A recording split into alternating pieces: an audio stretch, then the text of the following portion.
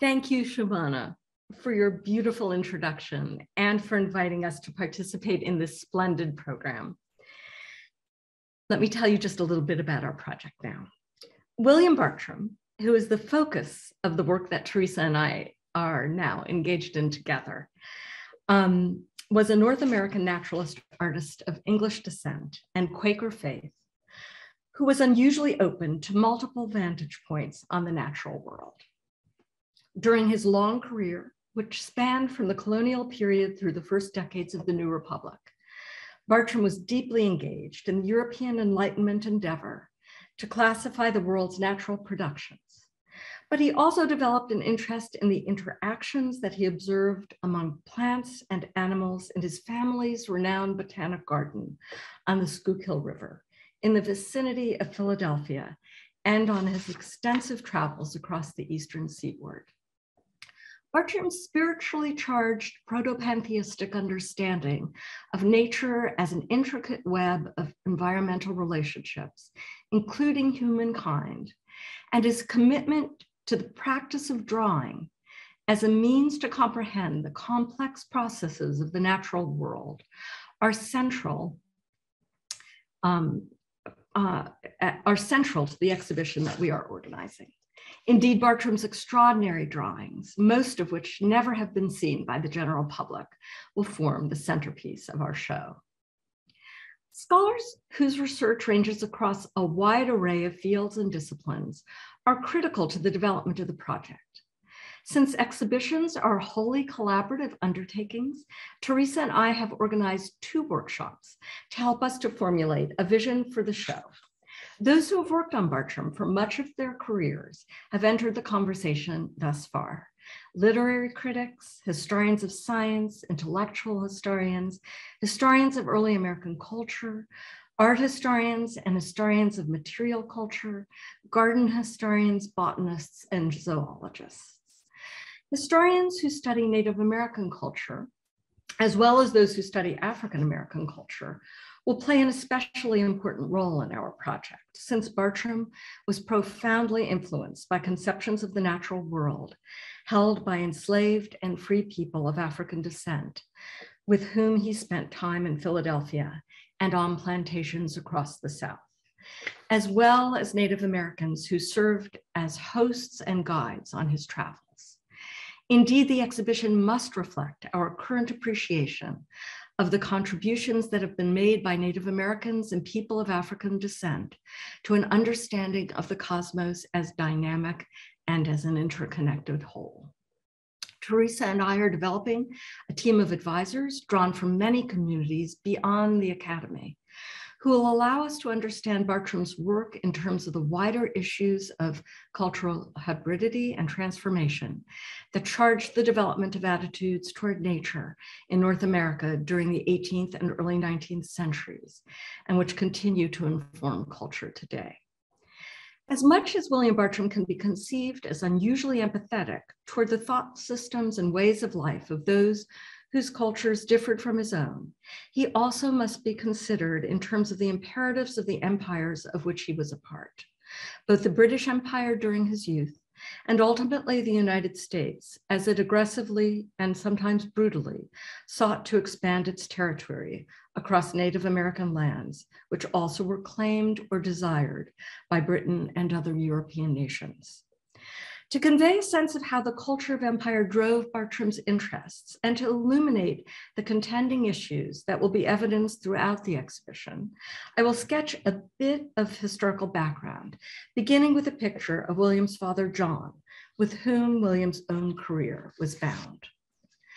John Bartram, who was born in 1699 and died in 1777 during the American Revolution, was the most important purveyor of North American species to Britain and to the rest of Europe for almost half a century.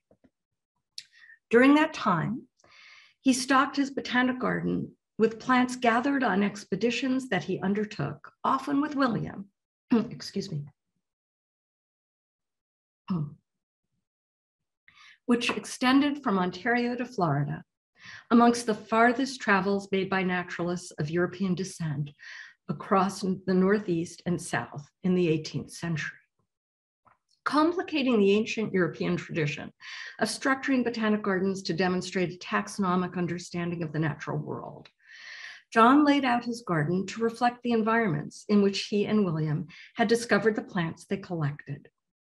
In an age that celebrated systematic science, the garden became one of the earliest experimental sites for the examination of environmental relationships, helping to lay the groundwork for modern sciences of ecology and conservation.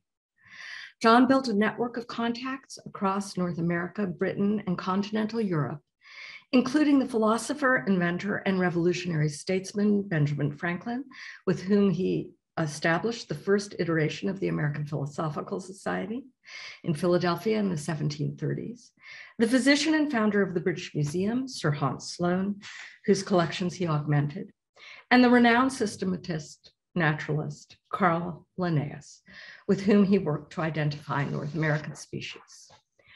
John's post as botanist to King George III was secured for him by Peter Collinson, a London cloth merchant, broker for Transglobal Exchange of Naturalia, and fellow of the Royal Society.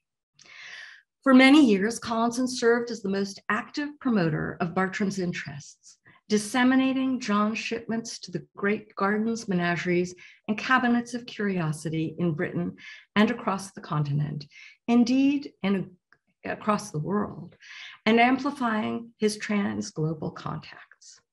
Among these was the English naturalist Mark Catesby, who between 1729, excuse me, and 1743 published the first major illustrated natural history of the British colonies of North America.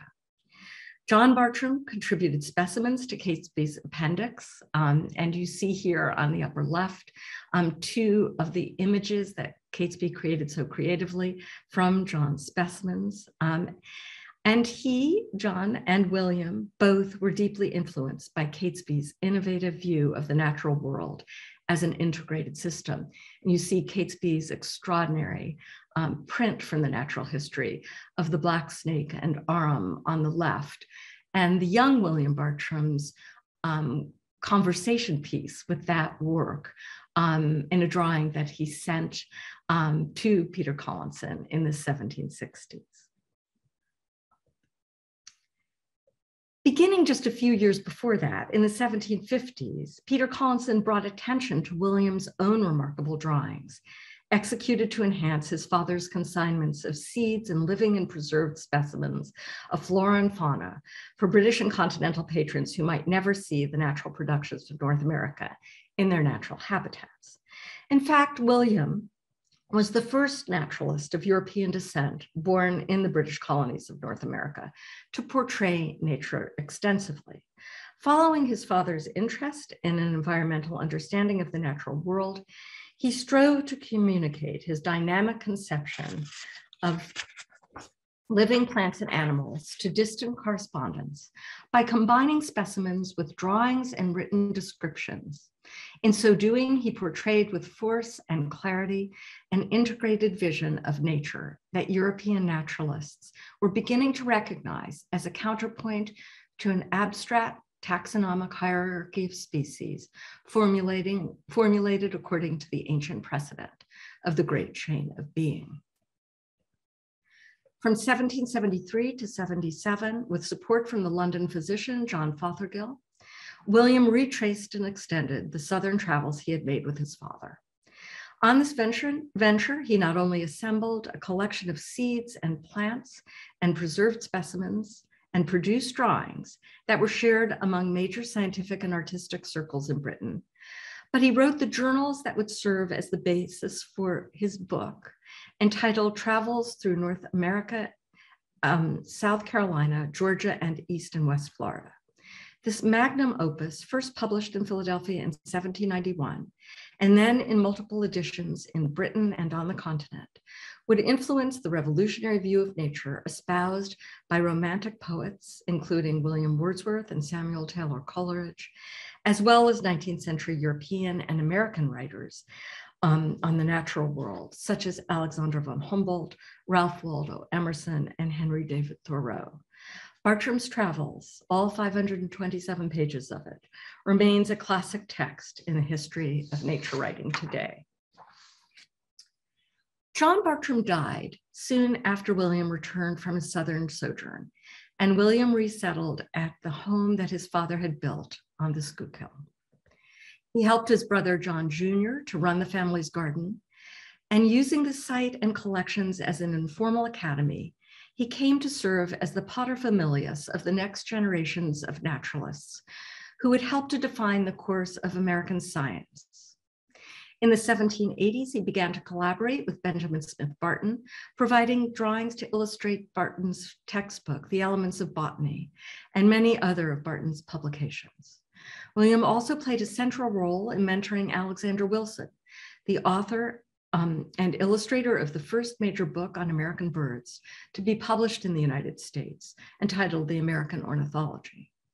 He worked closely with the painter, naturalist, and museum director, Charles Willson Peale, and he nurtured the talents of many of his own relatives, such as his niece, Anna Bartram Carr, who would come to run the garden in partnership with her husband, and his grandnephew, the entomologist Thomas Say.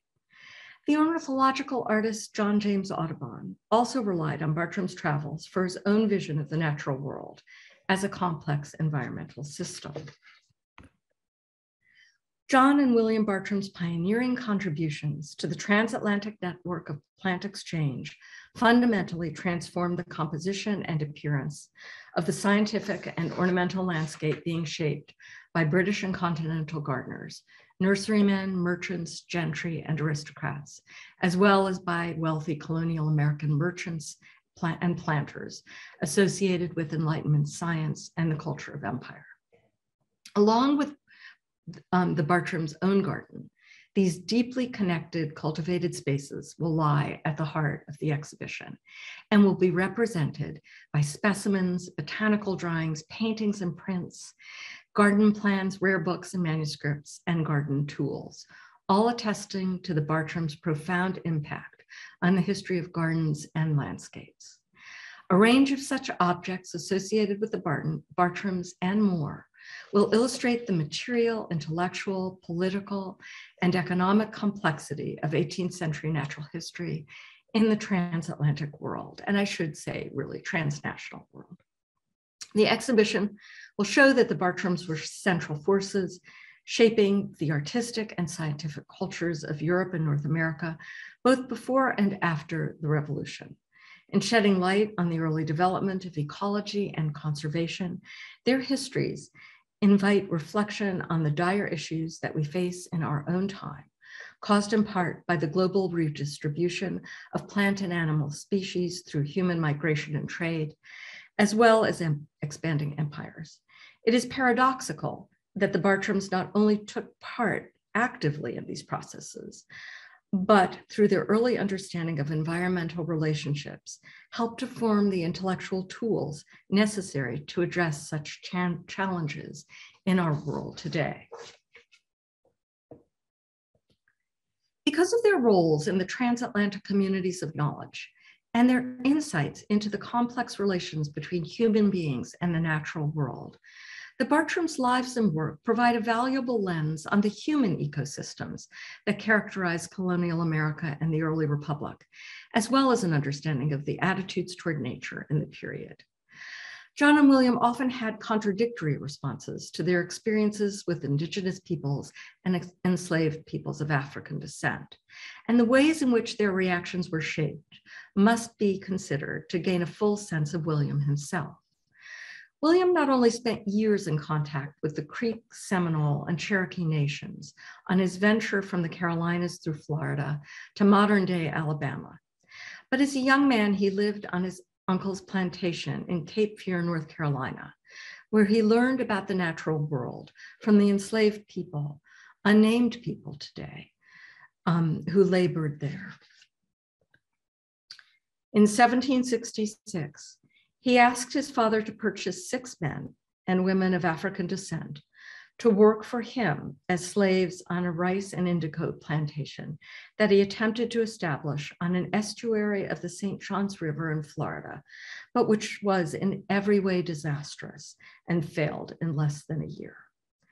Ultimately, William would become a vocal abolitionist, along with other members of his Quaker family in Philadelphia. But he cannot be exonerated for this reprehensible aspect of his life, and it must be taken into account in our exhibition. Indeed, our project will serve as a case study examining the diverse systems of knowledge about nature and culture, both virtuous and malevolent, that converged and collided in this period, resulting in new conceptions of an interconnected, ever shifting, and not entirely benevolent cosmos. While the exhibition will bring together a wide range of objects exemplifying the vibrant, beautiful, and often contentious visual and material culture of natural history produced by William and Bartram and others of European descent in the 18th and early 19th centuries. It also will highlight rare artifacts from the period that reflect the natural knowledge of Native Americans and enslaved people of African descent with whom William was familiar. Some of these precious objects, indeed many of them, will not be able to be shown. But contemporary Native American artists and artists of African descent will be invited to address the themes explored through the exhibition. Indeed, will help us to define those themes, allowing the voices of those whose lands were confiscated, bodies violated, and cultures disrupted through the larger story of empire in which William Bartram participated.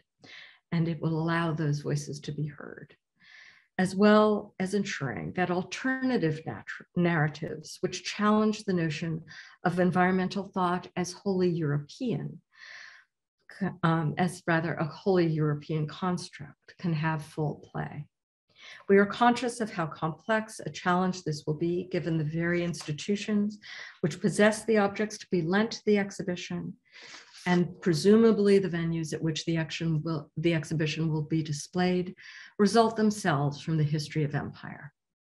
We hope, however, that the discussions in which we will continue to be engaged will help us to discipline this, our approach and to hone a valuable and thought-provoking project. Thank you. I am delighted to welcome Therese O'Malley to the screen now, who will speak next in our presentation. Therese. So I will talk about our approach to this project of an exhibition that reflects this cross-disciplinary state of the field, and we hope pushes forward this rich history toward new scholarship and an understanding of the Bartrams and their world. Over the years we have worked together, we return repeatedly to the theme of the garden for such an exhibition as one way of conceptualizing our shared interest. The garden, whether real or imagined, functions very much like William's body of writings and sketches. As Joel Fry, the historian, has said, it is a pool of shared culture. There have been a thousand aphorisms for the garden. I particularly like what the philosopher Michel Foucault said, quote, the garden is the smallest part of the world and the whole world at the same time, end quote. How perfect a way to think about the Bartram's garden and their view of the landscape they inhabited. Their garden on the Schuylkill River and others like it in their transatlantic network were living laboratories for experiments in naturalizing plants, studios for artistic illustration, depots for the collection and distribution of plants and seeds, a nexus for an international community of natural philosophers, gardeners, artists, and students. While our project focuses on William Bartram, attention is paid to a range of individuals who collected, exchanged, chronicled, and recorded data.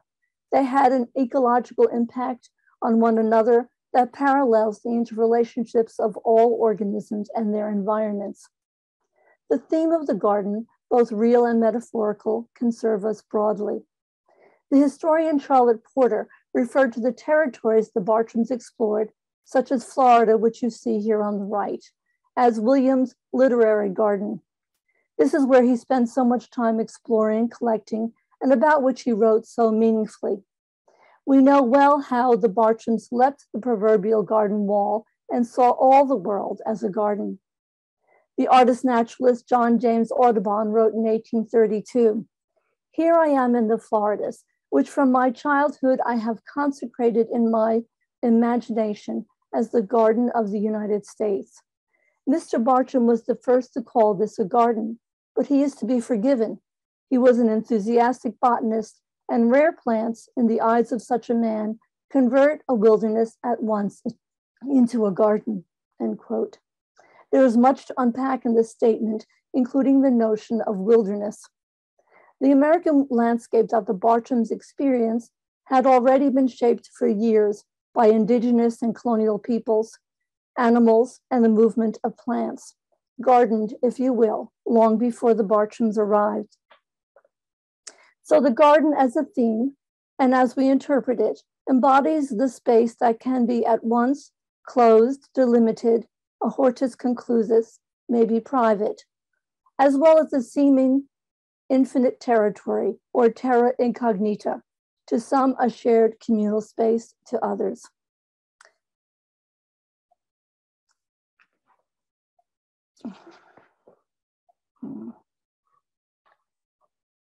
Can you advance my, there we go. The historian Charlotte Porter referred to the territories the Bartrams, I'm sorry, uh, Charles Willson Peale, frustrated by the limitation of his museum to display botanical sciences, turned to making his own ferme ornée, and with his son Rubens, who was a botanist at Belfield, his garden you see on the left, outside of Philadelphia. In 1812, he wrote to President Thomas Jefferson who was a notable gardener himself, with the advice Your garden must be a museum to you. Well, for our project, these words must be inverted. The museum must be a garden to us. But how does a museum do justice to the inexhaustible theme of the garden within its four walls? The challenge we have is to express the scales of a garden, microcosm and macrocosm, at the same time.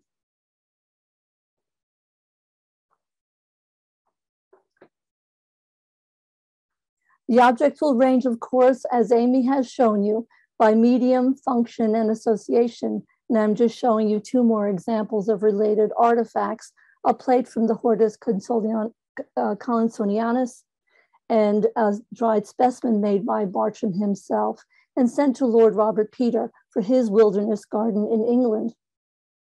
In a previous workshop, Thomas Hallock, a literary historian uh, who has written a great deal about William Bartram's travels, asked us, How are you going to display Bartram's words, his description of plants, animals, or emotions, all those things that we admire so much in the travels, the travels which you see here? So, this verbal dimension is indispensable to the project, but how is it captured in a gallery?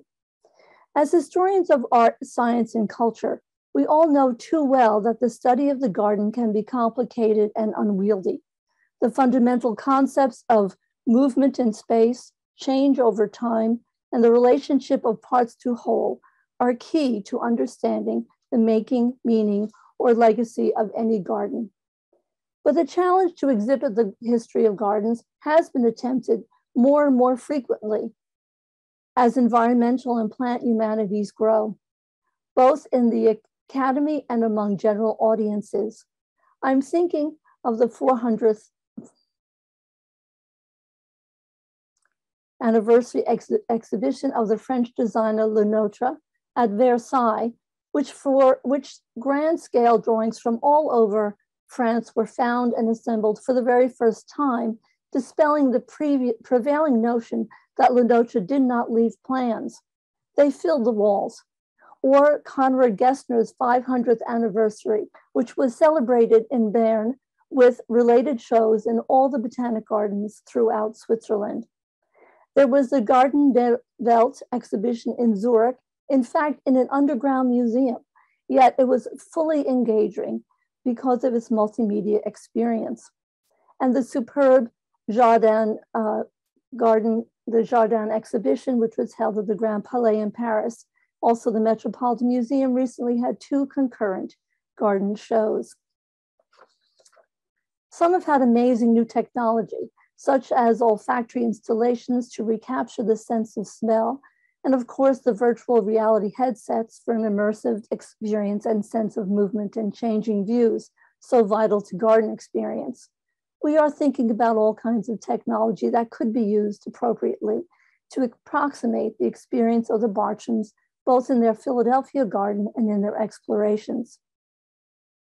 To my mind, the most successful of these exhibitions have overcome the challenges by exploring the long established shared goals of the garden and the museum, the pursuit of knowledge, beauty, and pleasure.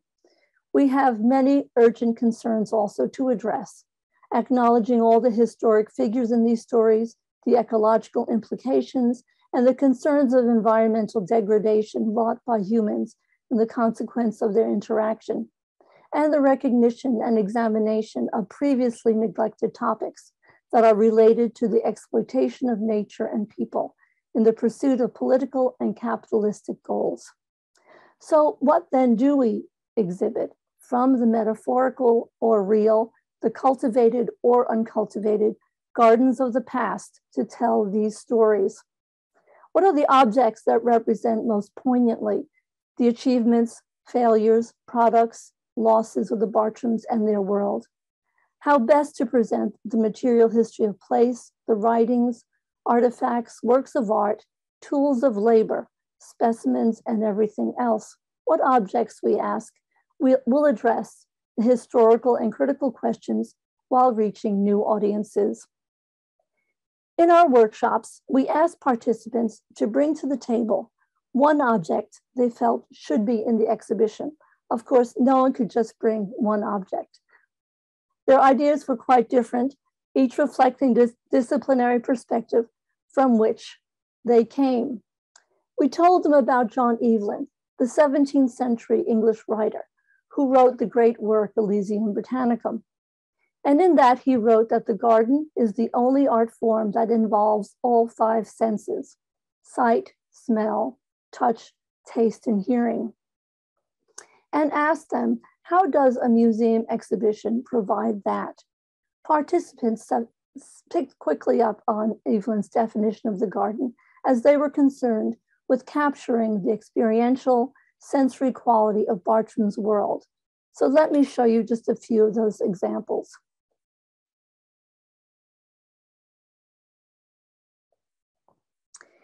For the sense of smell, I show you two herbaceous plants which William collected, Cleome and evening primrose. In a series of instructions Bartram received from London prior to his explorations in the American Southwest, he was directed to find, quote, the useful, the beautiful, the singular, or the fragrant. These are the most material to us. This is what he was told. Both of these plants were distinguished by William, he wrote, for their scent. And Cleome gynandra is particularly interesting here because it was brought to North America by enslaved Africans. And as you can see from the uh, image I show, which is from the 1640s, it was already known in Italy. So when William collected it, it had already been under cultivation. For the sensory experience of smell, one scholar suggested burning candle wax myrtle, Morella cerifera, in the exhibit, being a, one of the plants that Bartram collected and a very important economic plant. Not that most museums would allow this to happen, but it was a good idea. Bartram learned about it probably from the Choctaw, as the Europeans called the indigenous people in the region where he found it. They used it for medicinal purposes, and colonists made spicy aromatic candles out of it. the sense of sound. One literary scholar said about Bartram's book, The Travels, that not only, not only did it offer vivid visual description, it provided a virtual soundtrack through its rich account of bird song, and in this case, alligators roaring, which William wrote, the earth about them trembles with their thunder. So this must be captured somehow as well. And in addition to the environmental sounds, Bartram's own flute on display might give a sense of the musical and cultural world in which that family lived. For touch, I'm showing you the carnivorous Venus flytrap or sensitive plant, a plant that closes its leaves upon being touched by an insect. The tactility of sand, soil, fossils, the infinite textures of leaves and bark must be brought into play through interactive displays and perhaps programming that allows for herbarium making and fossil discovery. One of our participants brought to the discussion bags of soil that he had collected uh, from sites all along the Bartram's route.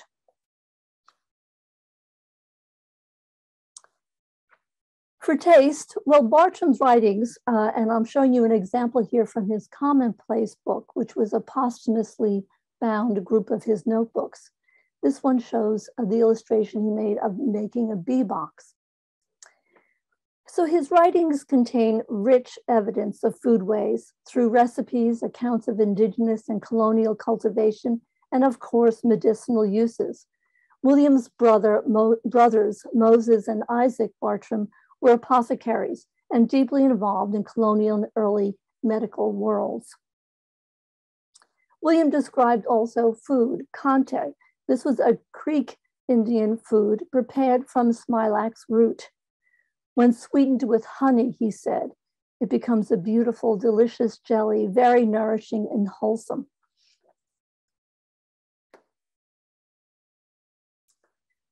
The fifth sense, vision, in, in, addition to any living plants that might be displayed in a related garden planting for the exhibitions, um, is experience, of course, the amazing drawings and reproductive prints, illustrated books, and maps that you've been sampling. And I hope you see from what Amy has shown you of William's work that it is visually very, very compelling. And all this will be a major aspect of the exhibition. So beyond the sensory, objects proposed by the workshop group fell into different categories of the historical, the artistic, cultural, and, of, and the scientific. Joel Fry offered this example of a dispatch box recently discovered, which was probably what was used to send documents between the crown in England and John Bartram, who was the king's botanist. The insignia of George III is still visible. It also serves to give a profound sense of the importance of the Bartram's work to the European world. This wooden box is important too because it reminds us of the, of the significance of the economics of natural history, the woods, dyestuffs, oils, and so many more products wrought from plant utilization.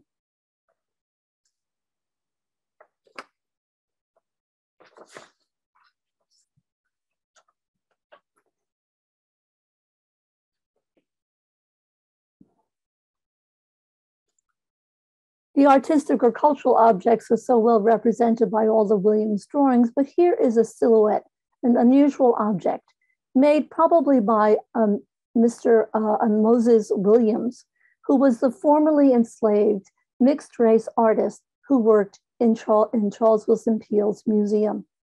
He was renowned in his time for his, his profile paper cutouts, of which he made thousands. Art historian Gwendolyn Shaw tells us that Moses Williams was often dressed up as a Native American and displayed along with the naturalia of the museum. This silhouette is also of particular interest because it's probably of Anna Bartram Carr, the woman who assumed the role of running Bartram's garden and nursery after her uncle William's death. This kind of objects tells many stories of people, ideology, and the changing world of art and natural history in that period.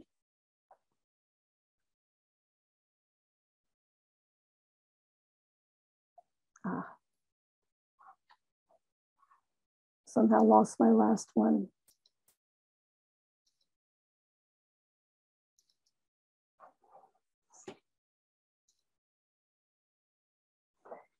And finally, the scientific object but as you can see here from this spread of the Franklinia altamaha, it really it crosses all the different categories.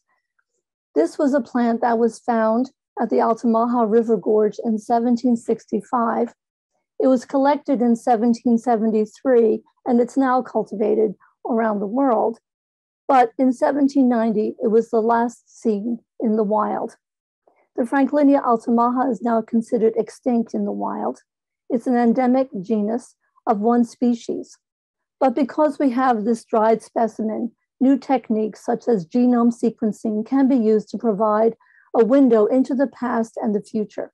An object of scientific study also allows the story of loss and destruction to the national, natural environment that the Bartrams witnessed. Our project considers cases of living plants that depend upon the evidence of works on paper, dried specimen, published images, and memorable writings, which themselves all moved across land and water in their own time. In closing, I will add that there is another characteristic the museum exhibit and the garden share. Alas, they are both ephemeral. We will certainly have a catalog that crisscrosses conventional disciplinary boundaries and we hope will remain a substantial and enduring contribution after the exhibition is spent. Thank you very much.